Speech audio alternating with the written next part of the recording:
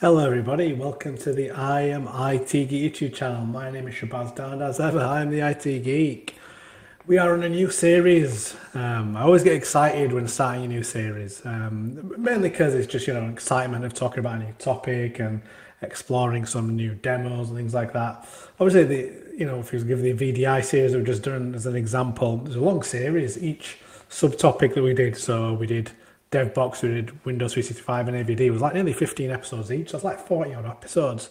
It does add up, and you know, I don't know about anybody else, but I start to get a little bit bored if I'm honest sometimes.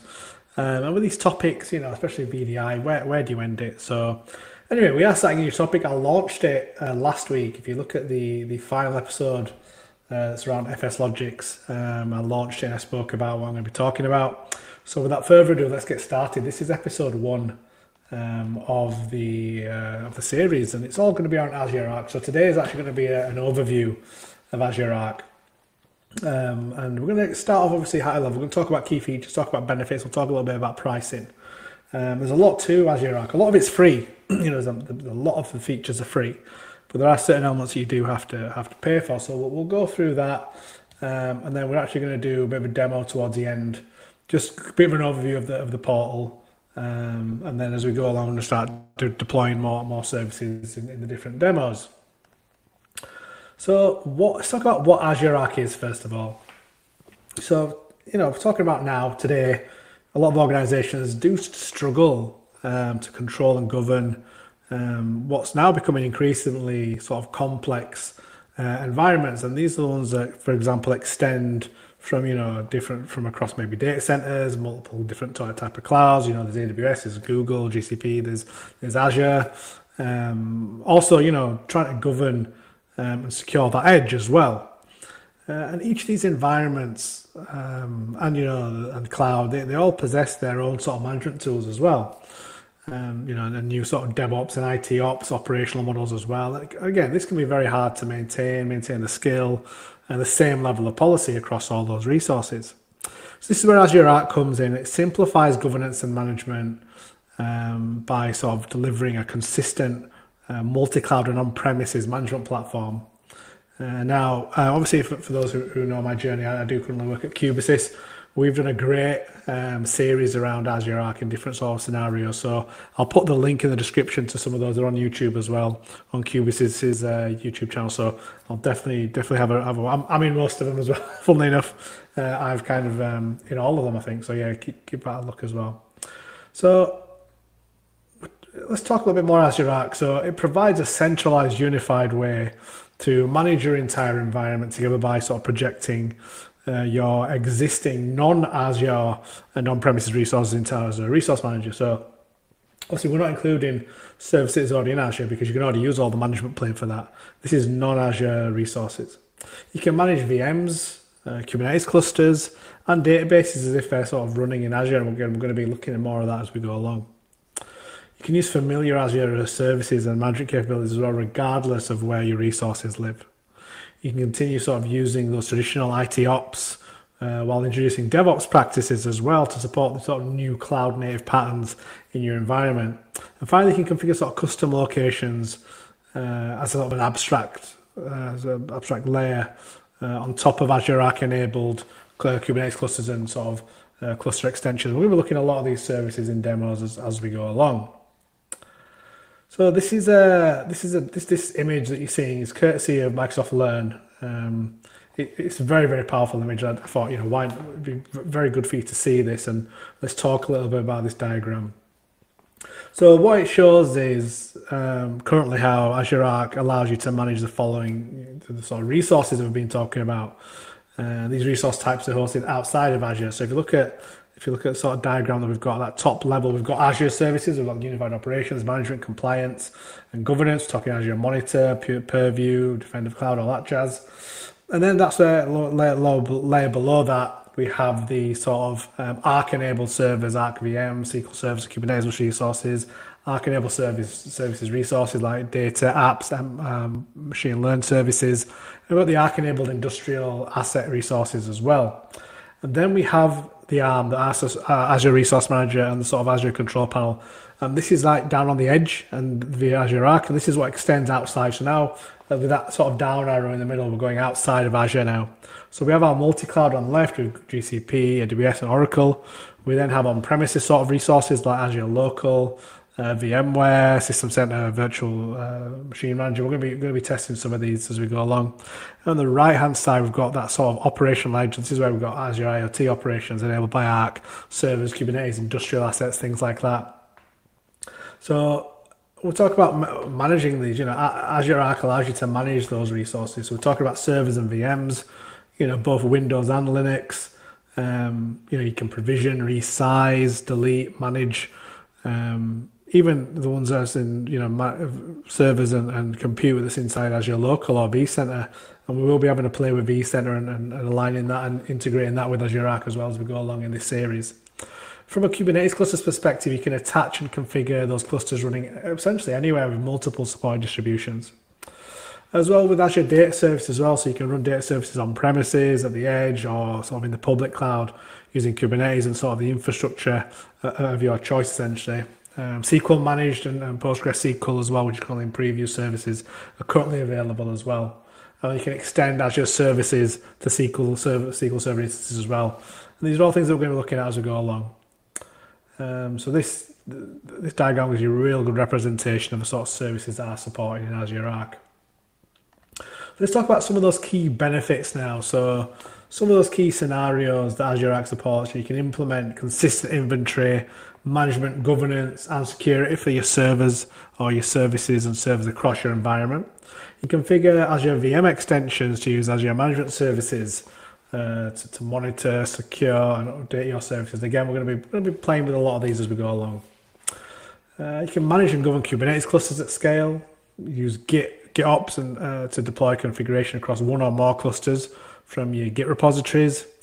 You've got that zero touch compliance and configuration as well, especially for sort of Kubernetes clusters using Azure policy, which is very, very powerful.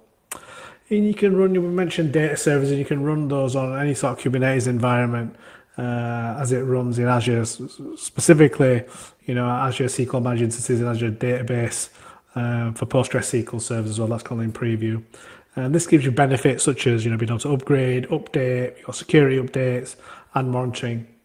Uh, and with that, you can use sort of elastic scale and apply those updates without sort of any application downtime, even without sort of that continuous connection to Azure as well. Another big benefit scenarios where we're able to create those sort of custom locations on top of your Azure Arc enable Kubernetes clusters, and you can use use them as sort of target locations for deploying Azure services instances. Um, you know, d- deploy your Azure Service Clusters extensions for Azure Arc enabled data services Azure Container Apps on Azure Arc as well, and even Event Grid on Kubernetes. And then perform virtual machine lifecycle and management operations on Azure Local, for example, and on premises environments. Um, you know, with VMware, we're going to be looking at we're going to integrate vCenter later on in this series.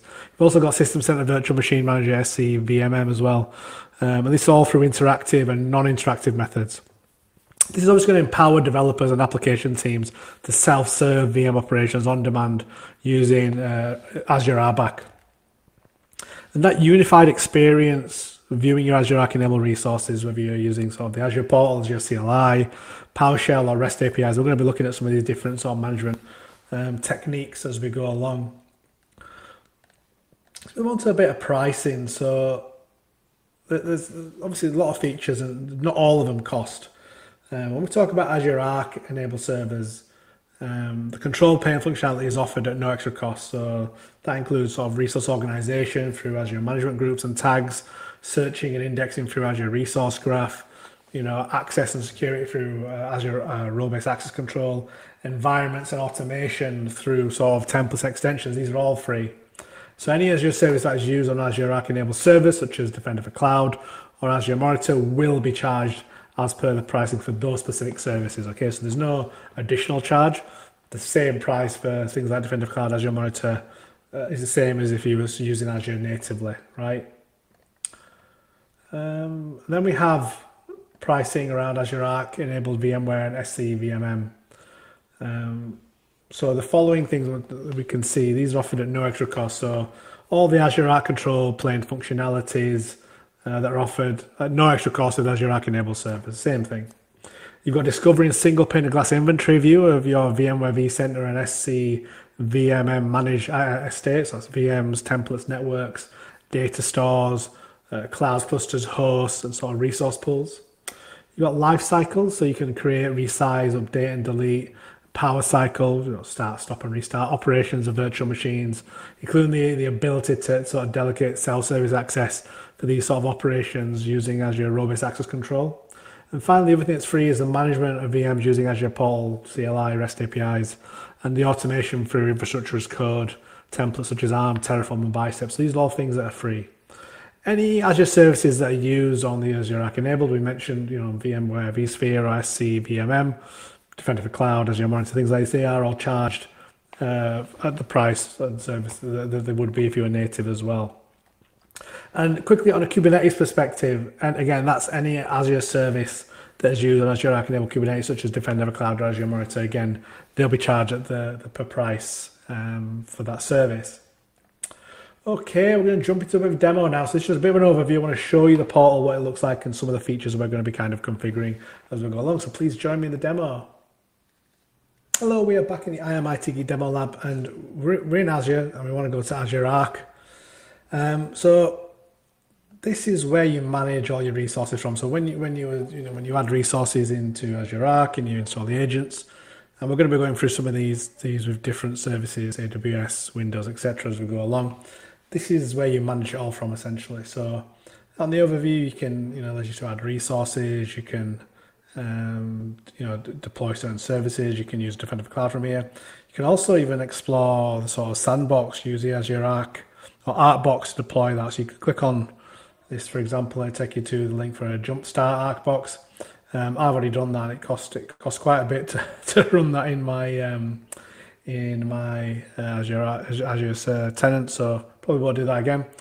As we go down the left hand side, this is where you'll see all the Azure Arc enabled resources. So this is, you know, th- things from premises, multi-cloud, um, include virtual machines, um, Kubernetes clusters, anything and everything. Uh, and again, as we go along in this series, we'll start adding services here and you'll see them. We talk about Azure Arc resources. We've got machines, we've got Kubernetes clusters. So we're going to be adding both of those as we go along. We'll show the different ways in which we can add a machine, create a machine, uh, in a connected host environment if we want. Kubernetes clusters as well. We'll show, we'll create Kubernetes cluster with Arc. We'll add one as well. As we go down, so we can add our host environments. Now, I don't have an Azure local one. Um, I am going to try and get, I've got a VMware vCenter one that I'm going to try and add. Um, and we'll see how we can manage that. Um, I don't have anything for SCVMM management servers at the moment, but again, I might try and get hold of one and configure one in the meantime. But again, this is where you can manage all those services, and as we go along, we'll be able to look at all these different features. Um, so again, you can here you could you could you could order the hardware, you could download the software to install those Azure local software services, and you could deploy it as well. Um, so this lets you actually download the local HCI OS. As we go vCenter, this is where you can add your vCenter. We'd, we'd go. We're going to go through this process uh, again, we can either use an existing bridge or we'll create a bridge. We'll probably use an existing bridge because I want to show how to create a bridge as well. For the data services, we've got the SQL instances, managed instances, etc. So we're going to try and do a bit of this with some virtual machines as well. This is your edge resources. Again, we'll try and have a look at adding some of these and see what options we've got around here. Um, we'll go through all this and show you how you can do that application service, app services, containers. These are all things again um, outside of Azure that you can add in, and, and again might struggle to replicate some of this and, and try and use those, but I'll try my best. I've got the Windows Server ESU licenses and things like that, and these are where you can. So this is where we're going to add our AWS account. We've got our custom locations, our service principals, This is where we're going to add our resource bridge, um, etc. So this is just this is the portal where we're going to spend a lot of our time when it comes to the demos. Uh, for example, in the next episode, we're going to try and add an AWS resource and we'll show how we can add that. We'll go through that process. So that was just a quick overview, uh, quick overview of, of Azure Arc. We're going to get into more details as we go along, and a bit of an overview of the portal as well. So this is a this is a normal video for me. It's not a member one. I've got loads of content on my member only kind of section. All my exam content that I do, I'm, I'm releasing uh, MS900 this week and then the MS900 labs next week. I'll put a link into some of my videos as well down below around exam content. If you're looking at sort of doing any exams, I've got multiple ones on there. I'll put some links in the description. Um, so thank you for watching. Until next time, goodbye.